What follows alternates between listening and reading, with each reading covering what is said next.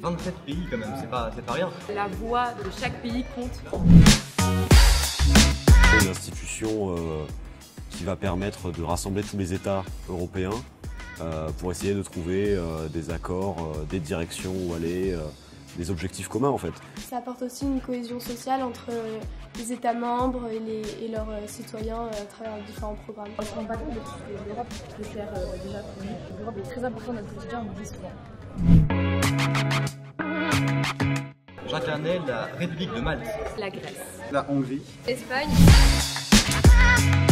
Grosse responsabilité parce qu'en plus j'ai la présidence. Euh, Je suis content d'avoir la Suède du coup. Ça, ça me permet de, de vraiment prendre part à l'exercice. L'Allemagne, c'est pas forcément une politique que j'aime bien. J'arrive quand même à mettre à la place du personnage et c'est super intéressant du coup au niveau de l'argumentation. Quand, quand l'article 4 a été refusé, c'était hyper intéressant parce qu'on a dû euh, là vraiment faire des concessions. pour trouver un accord entre 27 pays quand même. Qu'est-ce qu'il y a de commun entre Malte et la Finlande par exemple?